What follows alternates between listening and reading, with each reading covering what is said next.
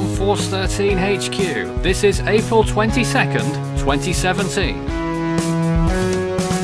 Here's your tropical weather bulletin.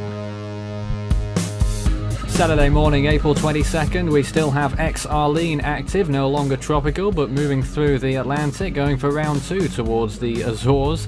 Um, it's not going to get there for a little while yet, though, and we don't expect it will turn tropical, but you never know. We also have two other Invests active, Invest 93W in the Western Pacific and 97P located north of the top end of Australia, rather the Cape York Peninsula. But tonight's feature is Invest 93W, winds of 25 miles an hour, pressure 1007 millibars, it's at 6.2 degrees north, 145.6 degrees east at the latest um, bulletin uh, which is this, and the storm is expected to move towards the northwest, the system uh, in a west-northwesterly direction, in fact, we expect, but it could actually deviate a bit further north from that. The uh, model run from GFS uh, shows something pretty interesting, a potential development of this system as it moves towards the southwest of Guam and then to the west eventually, uh, and could possibly uh, develop into a weak and brief tropical storm that moves out to sea, so we'll be watching that one pretty closely. The Atlantic Ocean looks like this. There's Arlene, what's left of it, still moving around there, uh, now towards the south, and it was at one point only around 500 miles from Newfoundland, which is uh, covered in snow, ironically. The East Pacific looks like this. Um, you can see that band there, which is um, loosely defined around an extratropical cyclone further north, extending all the way to Hawaii, but the rest of the East Pacific is very quiet. A few equatorial thunderstorms, but not getting anywhere close to being tropical cyclones.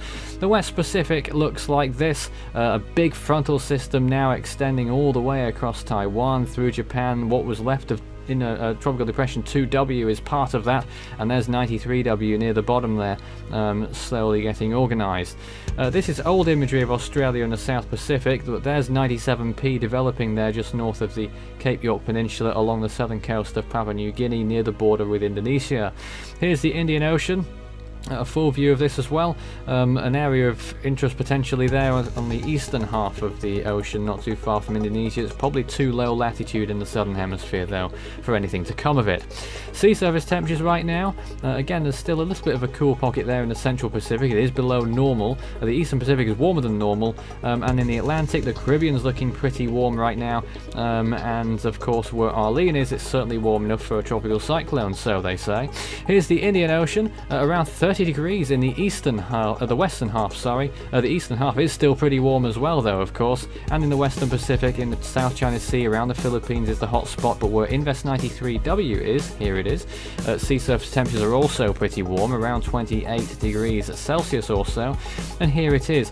Um, not too much going on near the center of this system in those latest frames. In fact, the thunderstorm activity appears to have fizzled out, but around the general vicinity of this uh, system, uh, there is thunderstorm activity possibly affecting some of the Micronesian islands. The ones marked there on the right hand side in the pink island are the islands of Chuuk in Micronesia. Guam is just about due north of this system right now off picture, um, off the northern side edge of the screen, and over towards the western side, probably also off the edge of the screen, would have been Palau.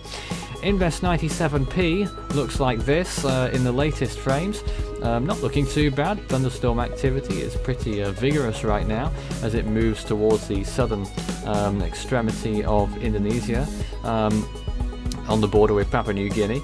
Uh, it's an interesting location for a potential cyclone, uh, but it's not going to get much traction at the moment by the looks of things in the position it's in right now. But something to watch out for in the coming days. I expect this system will be moving towards the west and then may produce something in the eastern uh, part of the Indian Ocean, or perhaps even sooner. Here's post-tropical storm Arlene moving towards the south there, still maintaining some semblance of convection on the eastern side, and the centre of the cyclone is still pretty visible and apparent, uh, but it is no longer of tropical um, nature. Um, but you never know, it could retain tropical characteristics. It is moving south after all, back towards where it developed, um, and battling with that other extratropical cyclone that it's interacting with there on the right hand side, uh, which is very poor indeed. Of course, the forecast initially said that Arlene would get absorbed by that extratropical cyclone, but it was so weak uh, that it didn't, and now they're just circling around each other.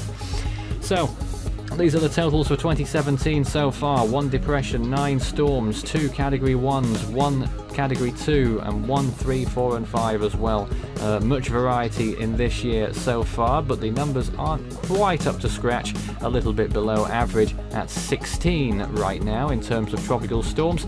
31 is the so-called target set by 1900, that's the 117th position and many more above that. Uh, no doubt we will get to 31 or more before the end of this year.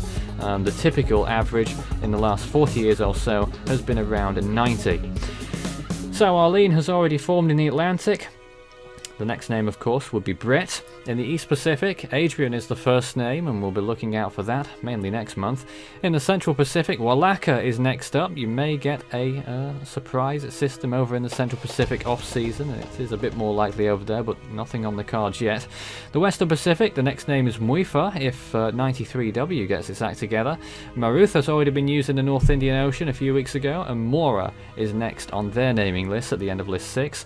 In the Australian region, should we get another storm? Well, 97 Could become Frances. In the southwest Indian Ocean, Gabekile is the next name, and in Fiji, it's Donna. That's all for today. We'll be back on April 23rd. You can follow Force 13's outlets, the website force13.com and its tracker at your service at any time. You can also find us on YouTube, you're probably there already. Search Force 13, all in text if not, and subscribe also if you haven't, it'd be very nice if you did. You can also find us on Facebook and Twitter, search Force 13, all in text, at Force 13 is the handle on Twitter if you'd like to get in touch. You can also add Fool13 on Skype, FOOL13, and add extension 9094 on Discord for tropical weather chat.